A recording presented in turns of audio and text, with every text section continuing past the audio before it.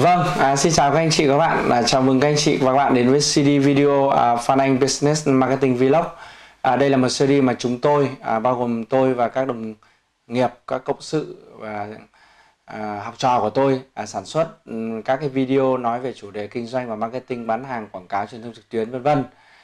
À, và một cái chủ đề mà tôi có tham gia vào một cái group à, rất là lớn, à, họ tranh cãi, à, họ trao đổi về một cái câu chuyện là một chai nước lọc có giá 30 đến 40 nghìn đồng bán hay là mua ở bên trong một sân vận động ở Hà Nội thì có đắt hay không?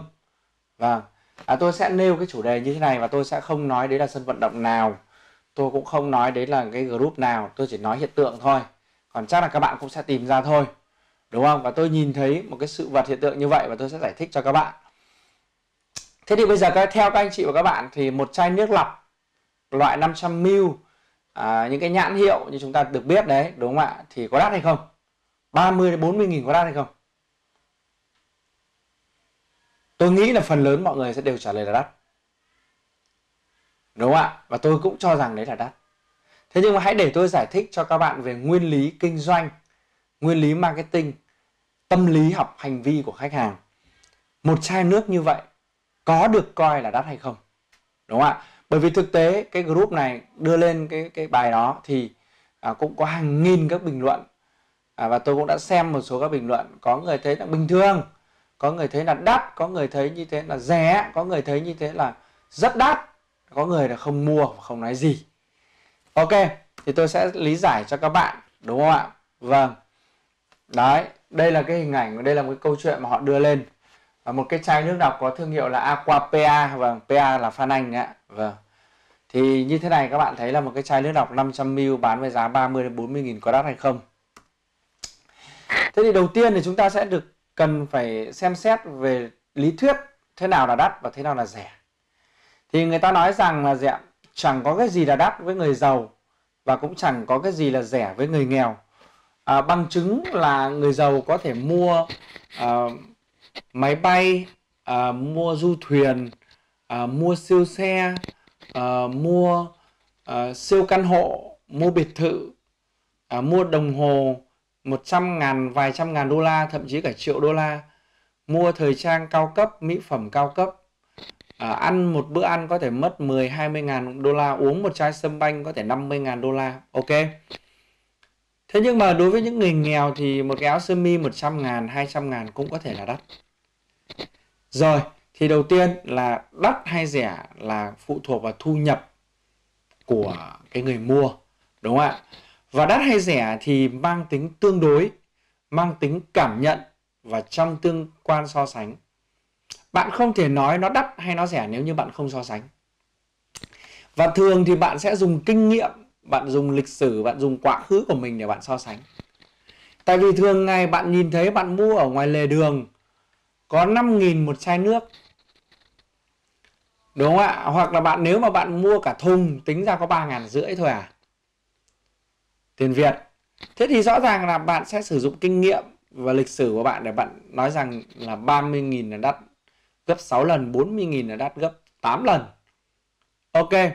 Khách hàng là chúng ta thì luôn muốn được đối xử công bằng, chứ không phải là đắt hay rẻ. Đôi khi mình thấy là bị 30.000 40.000 mình cảm thấy như thế là không công bằng như thế mình bị bắt bí, mình cảm thấy là bực bội, chứ cũng đôi khi cũng không phải là đắt hay rẻ. Đấy, và tất nhiên thì khách hàng nào cũng luôn muốn mua rẻ hơn là muốn mua đắt. Đấy là lý thuyết về về hành vi của khách hàng giải thích cho việc là đắt hay rẻ.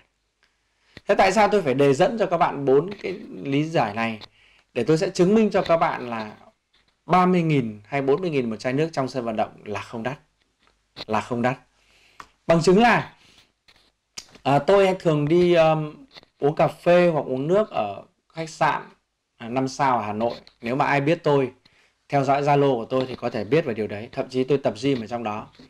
Và tôi không nêu tên đúng không ạ? Khách sạn 5 sao xịn nhất Hà Nội. Hoặc là tôi thường xuyên tư vấn cho khách hàng ở một khách sạn 5 sao khác. À, nếu mà ai đã học tôi là đều biết đúng không ạ? Nó không đắt. Một chai nước ở trong đó một chai nước nhập khẩu không phải là cái dạng à, aqua pa như tôi vừa nói một chai nước nhập khẩu từ ý à, đóng vào chai thủy tinh nó bán 130 nghìn một chai nước. Nhưng nó bán ở trong khách sạn 5 sao view rất đẹp. Nhân viên phục vụ rất là chuyên nghiệp dễ thương có người chơi piano cho bạn. Nghe uống một chai nước lọc. 130 nghìn.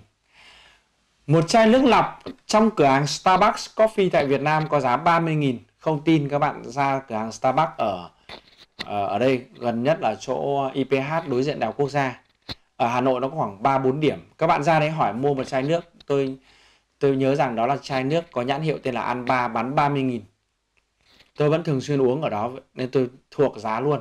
Nếu các bạn không tin các bạn có thể check lại. Một chai bia ken bán trong nhà hàng của khách sạn 5 sao có giá 120 đến 150 nghìn. Trong khi đó bạn nhập mà ở siêu thị có đâu đó chắc 10, 12, 15 ngàn gì đó. Cái bia ken Việt Nam ấy. Thế còn ken Pháp thì có thể đắt hơn một chút. Nhưng tôi đang nói là cái chai ken Việt Nam khoảng 15 ngàn.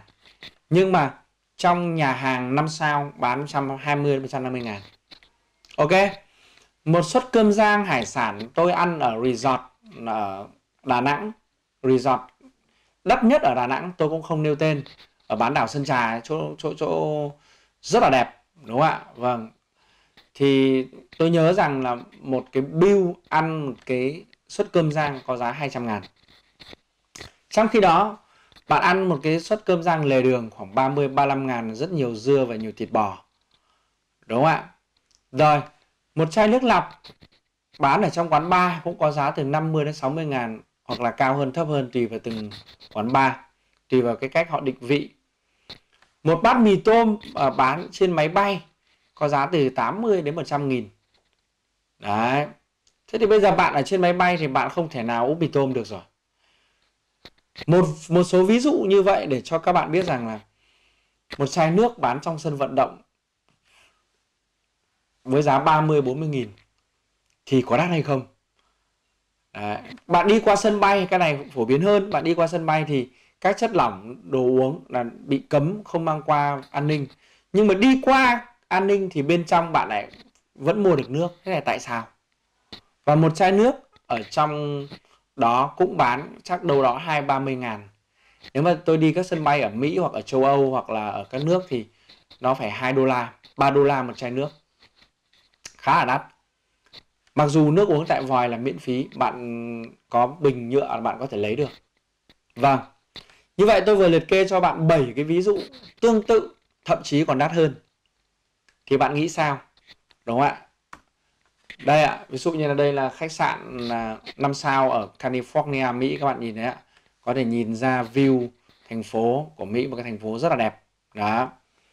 Và khách sạn ở đây thì rất đắt bởi vì bang Cali là một trong những bang mà có bất động sản cực kỳ đắt bởi vì ở đây toàn là các tỷ phú công nghệ. À, thung lũng Silicon Valley nó cũng ở đây. Vâng uống cũng một chai nước lọc đây ạ ở sân bay mua một chai nước lọc có giá 3 đô sân bay San Francisco của Mỹ đấy ạ. À, đây là một cái khách sạn 5 sao mà các bạn có thể hoàn toàn nhìn ra biết đây là khách sạn nào nhưng mà tôi sẽ không nêu tên. À, uống một ly cà phê cũng rất là đắt, uống một chai nước lọc cũng rất là đắt. Tôi chứng minh cho các bạn thấy. Vâng, vậy thì giải thích ừ, cái hiện tượng này bằng cách nào? Bằng cách nào? Thứ nhất là do yếu tố độc quyền. À, độc quyền mùa vụ tức là gì? À, ở trên máy bay đúng không ạ? Đấy là một cái một cái độc quyền trong một cái khoảng thời gian ngắn trên một chuyến bay đúng không ạ? Hay là trong sân bay đấy là một cái dạng độc quyền. À rồi thì ở trong sân bóng đó là một cái dạng độc quyền. À, tất nhiên cái độc quyền này không phải độc quyền theo kiểu là giống như là bạn đang nói là bán điện hay bán bán bán nước đúng không ạ? Đây là độc quyền mang cái trong ngoặc kép tức là trong một khoảng thời gian ngắn và trong một cái phạm vi hẹp. Đấy hay là bạn vào các cái dạp chiếu phim đúng không? Bạn uống một cái ly nước cũng như là bạn ăn bỏng ngô. Bỏng ngô bên ngoài bán rẻ bùn.